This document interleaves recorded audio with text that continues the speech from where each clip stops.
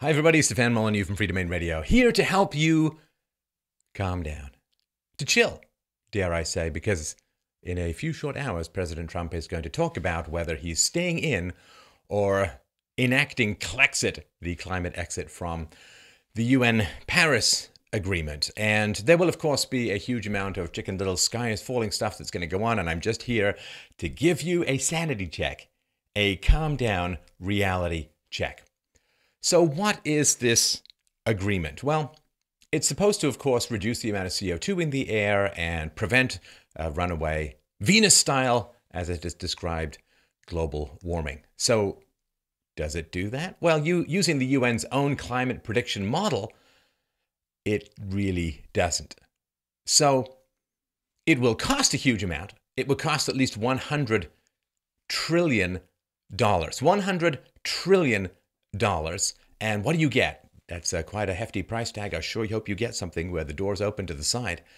Well, this Paris Climate Accord might potentially reduce the Earth's temperature at the end of the century, 2100, by three tenths of one degree. This is using the UN's own climate models. Yes, that's 86 one thousandth of a degree. Is that worth $100 trillion that uh, the UN globalists want to spend? I would pretty much say no.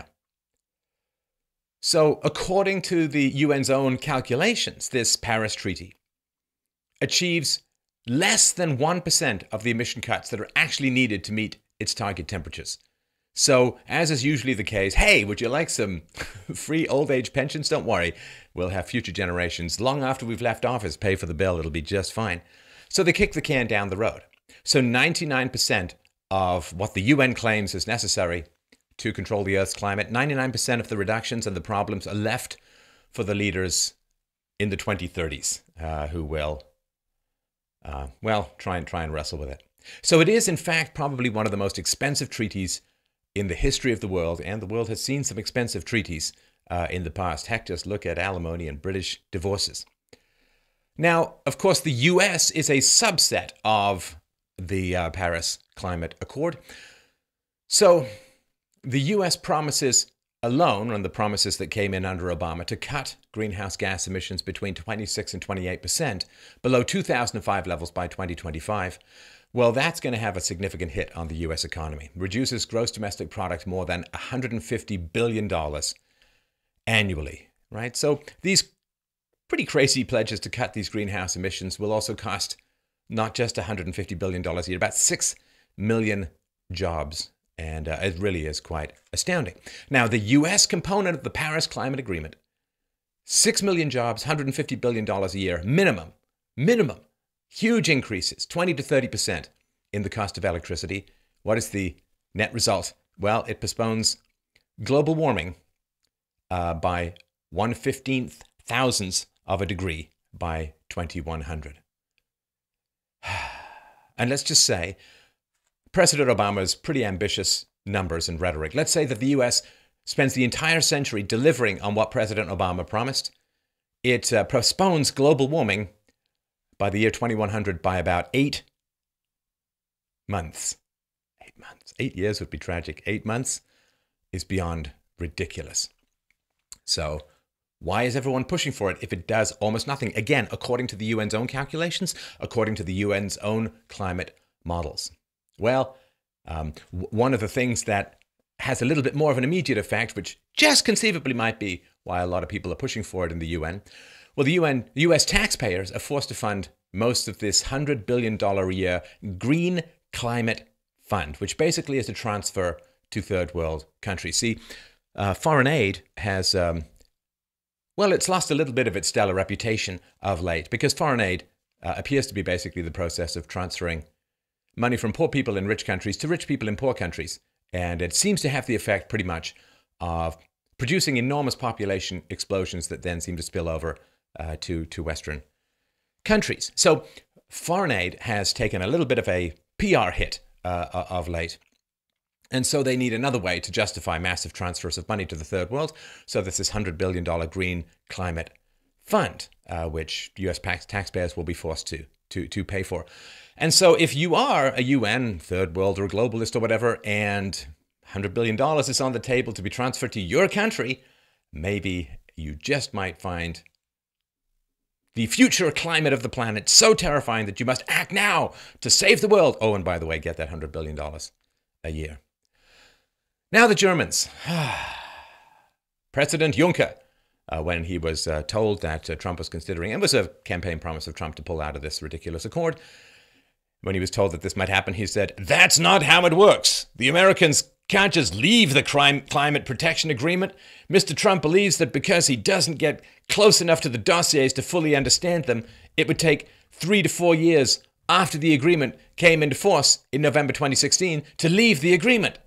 So, this notion, I am Trump, I am American, America first, and I'm going to get out of it, that won't happen. We tried to explain that to Mr. Trump in Taormina in clear German sentences. It seems our attempt failed, but the law is the law, and it must be obeyed. Not everything which is law and not everything in international agreements is fake news, and we have to comply with it. Ah, Germany. Don't you have another comedian to deliver to Turkish dictator Erdogan?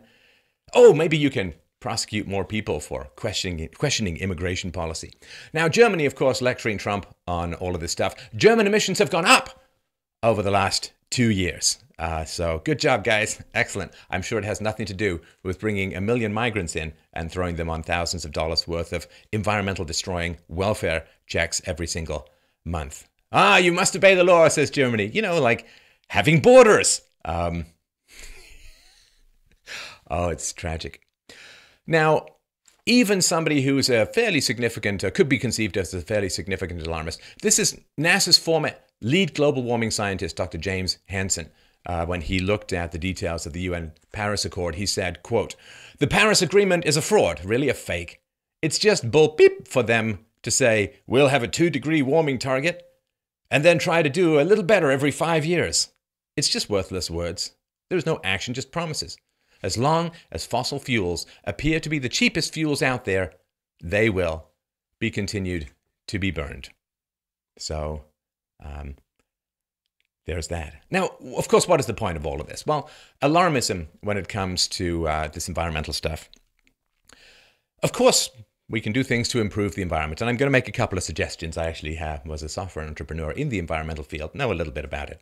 But the idea, the general idea is the alarmism is there to provoke anxiety. We're doomed. The world's going to burst into flames. Well, the fact that CO2 levels were 10 times higher during the last global ice age, well, that's a topic for another time. So it's there to provoke anxiety. You feel bad. You feel anxious. You're worried.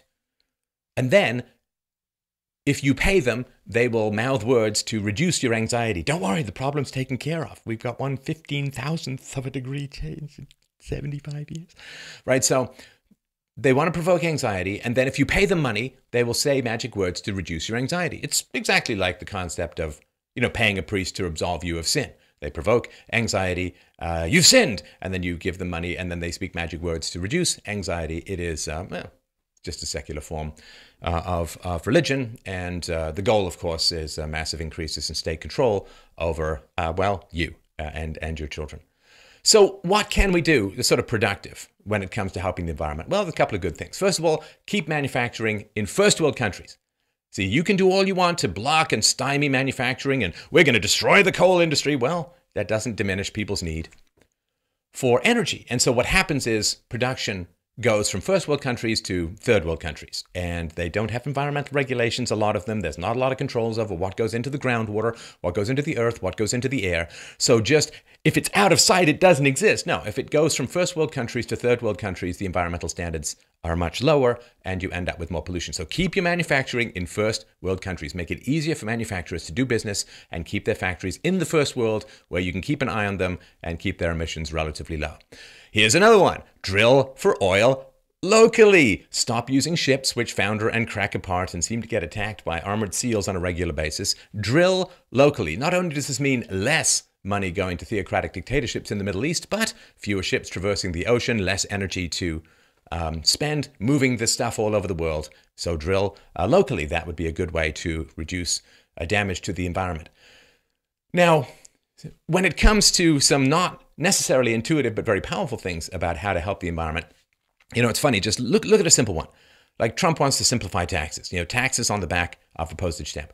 Think how much electricity, computer power, time, energy, paperwork, and so on is spent on complying with a ridiculously Byzantine tax code in the United States. If you simplify taxes, it takes far less time, far less energy, far less paperwork just to pay your taxes. Very good for the environment. Another key one reduce government spending. Every dollar that the government spends is a dollar that is used to consume some part of nature's scarce and precious resources.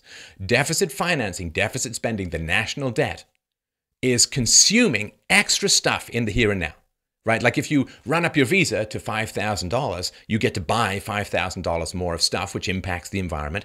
And then at some point down the road, what happens? Well, you're going to have to contract your spending and so on. So no government deficits and reducing government spending is a very, very key part to reduce human impact on the environment. Uh, stopping illegal immigration right? If you look at the environmental footprint of somebody in Mexico versus somebody who's an illegal immigrant who's come to America, well, their energy consumption goes up enormously, their um, their uh, use of scarce resources goes up enormously, and so when you have illegal immigration, you're basically burdening Mother Nature with higher usage carbon-based life form who are going to prey further on Mother Nature. So there's lots of other things to talk about. These are just a couple of points. Uh, of course, the, the, Paris Accord is just another bit of forced socialism, which is going to do more to wreck the third world and thus the first world. Uh, it's unsustainable. It's ridiculous, ridiculously expensive. It's a massive cash grab. And of course, any sane human being would want to have nothing, nothing to do with it whatsoever.